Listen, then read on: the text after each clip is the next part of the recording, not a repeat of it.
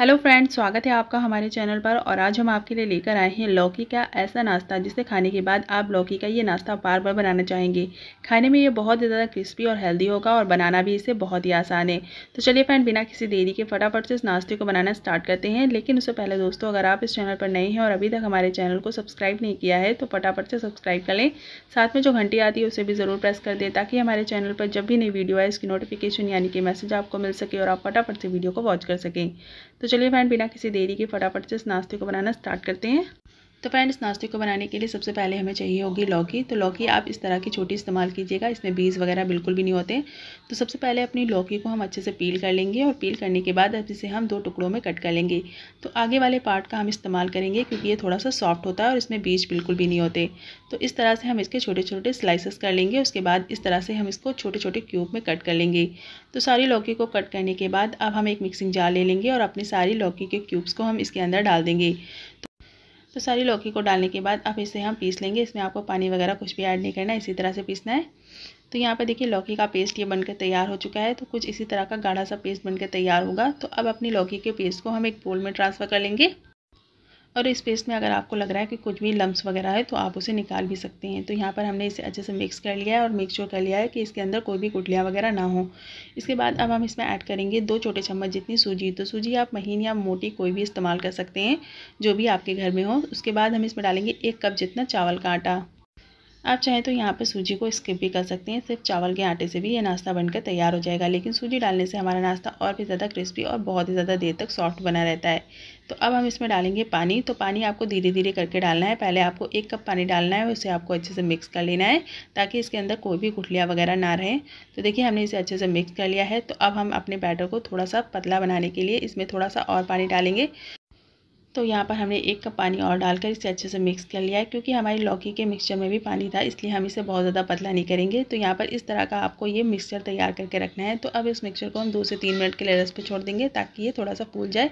दो से तीन मिनट के बाद हम इसे चेक करेंगे। दो से तीन मिनट हो चुके हैं और हमारा बैटर काफ़ी अच्छे से फूल गया। आप देख सकते हैं, थोड़ा सा गाढ़ा हो चुका है। तो अब हम इसमें ऐड करेंगे थोड़ी सी वेजीज तो सबसे पहले हम इसमें डालेंगे थोड़ी सी फ्रेश बारीक कटी हुई शिमला मिर्च। साथ ही हम इसमें ऐड करेंगे दो से तीन बारीक कटी हुई हरी मिर्च। हरी मिर्च आप अपने स्पाइस के अकॉर्डिंग डालिएगा। साथ ही हम इसमें ऐड करेंगे खूब सारे कड़ी पत्ते। इससे हमारे नाश्ते में बहुत ही अच्छा सा टेस्ट आएगा। इसके बाद हम इसमें ऐड करेंगे थोड़ा सा एक चौथाई चम्मच जितना साबुत जीरा और एक चौथाई चम्मच जितना ही हम इसमें ऐड करेंगे रेड चिली फ्लिक्स अगर आपकी हरी मिर्च बहुत ज़्यादा तीखी है तो आप रेड चिली फ्लिक्स को स्किप भी कर सकते हैं। तो अब इन सभी चीज़ों को डालने के बाद हम इसमें ऐड करेंगे स्वाद अनुसार नमक और थोड़ा सा हम इसमें ऐड करेंगे काली मिर्च का पाउडर। तो काली मिर्च का पाउडर टोटल ऑप्शनल है, अगर आपको पसंद है तो आप डालें, वरना आप इसे स्किप कर सकते हैं।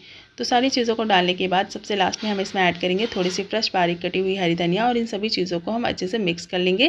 तो यहाँ पर हमारा बैटर रेडी हो चुका है तो बैटर को हम एक से दो मिनट के लिए रेस्ट पर छोड़ देंगे, तब तक कि अपनी हम चटनी की तैयारी कर लेंगे। तो फ्रेंड चटनी बनाने के लिए सबसे पहले हम एक मिक्सिंग जार ले लेंगे और इसमें हम ऐड करेंगे आधा कप जितनी नारियल। तो यहाँ पर हमने फ्रेश नारियल का इस्तेमाल किया है। इससे हमारी जो चटनी का टेस्ट है, वो बहुत ही ज़्यादा अच्छा आता है। तो नारियल को हमने इस तरह से छोटे छोटे टुकड़ों में कट कर दिया है ताकि इसे पीसने में परेशानी ना हो। इसके बाद हम इसमें ऐड करेंगे थोड़े से रोस्टेड चने, तकरीबन दो छोटे चम्मच जितना। तो अगर आपके पास रोस्टेड चने नहीं है तो आप इसकी जगह पर रोस्टेड पीनट का भी इस्तेमाल कर सकते हैं। तो दोनों ही चीज़ों को डालने के बाद अब हम इसमें ऐड करेंगे थोड़ा सा अदरक। तो यहाँ पर अदरक आपको इस तरह से छोटे छोटे टुकड़ों में कट करके डालनी है। साथ ही हम इसमें ऐड करेंगे दो कलियाँ लहसुन की। अगर आप लहसुन नहीं खाते हैं तो आप लहसुन को स्किप कर सकते हैं।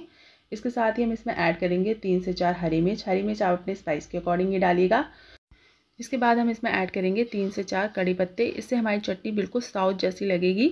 तो ये टोटल ऑप्शनल है, अगर आपके पास हो तो आप डालें। इसके बाद हम इसमें ऐड करेंगे स्वाद अनुसार नमक। और नमक डालने के बाद हम इसमें ऐड करेंगे एक चौथाई कप जितना पानी। तो पानी आपको बहुत ही कम डालना है, जितना आपको रिक्वायरमेंट है और जितना आपको थिक चटनी चाहिए, उस हिसाब से डालना है। तो चलिए फ्रेंड इसे हम फटाफट से पीस लेते हैं। तो यहाँ पर हमारी ये चटनी बनकर रेडी हो चुकी है और आप देख सकते हैं कितनी ज़्यादा थिक और क्रीमी है। ये बिल्कुल भी पानी पानी नहीं आप देख सकते हैं इसका टेक्सचर तो सबसे पहले अपनी चटनी को हम एक बोल में ट्रांसफ़र कर देंगे। तो यहाँ पर हमने इसमें थोड़े से रोस्टेड चने का इस्तेमाल किया, जिससे हमारी जो चटनी है वो बिल्कुल भी पानी पानी नहीं लगेगी। ये थोड़ी सी थिक बनेगी और एकदम क्रीमी लगेगी। तो ये एक सीक्रेट है, इससे हमारी चटनी बहुत ज़्यादा अच्छी बनती है। साथ ही अब अपनी चटनी को हम थोड़ा सा और स्पेशल बनाने के लिए इसमें एक तड़का लगाएँगे। तो तड़का लगाने के लिए सबसे पहले तड़का पैन में हम थोड़ा सा तेल गरम कर लेंगे। तो तकरीबन एक से दो चम्मच के करीब तेल गरम करना है। जैसे ही हमारा तेल गरम हो जाएगा, हम इसमें ऐड करेंगे थोड़ी सी महीन वाली राई और साबुत जीरा। तो दोनों की क्वांटिटी सेम रहेगी। इसके बाद जैसे ये दोनों चीज़ें अच्छे से चटक जाएँगी, हम इसमें ऐड करेंगे थोड़ी से कड़ी पत्ते और इस तड़के को हम फटाफट से चटनी में ऐड कर देंगे। तो तड़का डालने के बाद अब चटनी को हम अच्छे से मिक्स कर लेंगे। आप चाहें तो अपनी चटनी को अपने हिसाब से थोड़ा सा पतला और गाढ़ा बना सकते हैं इस टाइम पे। तो यहाँ पर हमारी ये चटपटी से चटनी बनकर रेडी हो चुकी है। तो इसे अब हम साइड में रख देंगे और फटाफट से अपने नाश्ते को बनाना स्टार्ट करेंगे।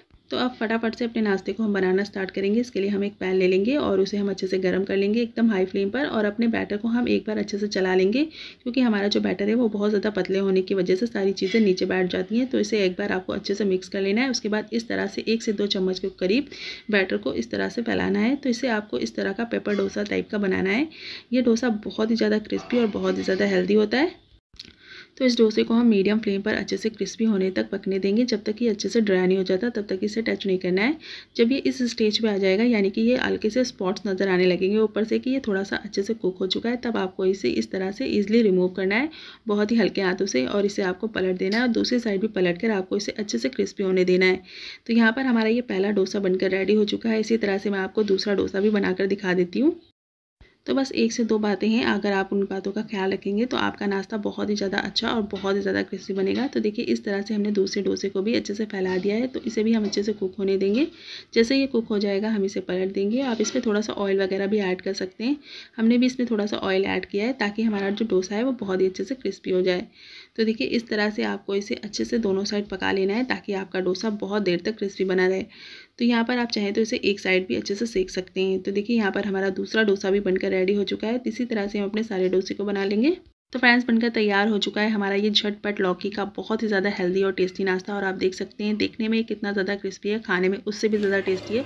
तो जब भी आप इस नाश्ते को बनाना चाहें, बना सकते हैं, बहुत ही कम समय बनकर तैयार हो जाता है और बहुत ही कम चीज़ों से। तो ज़रूर से ट्राई कीजिएगा और हमें कॉमेंट में बताइएगा कि आपको हमारी आज की रेसिपी कैसी लगी।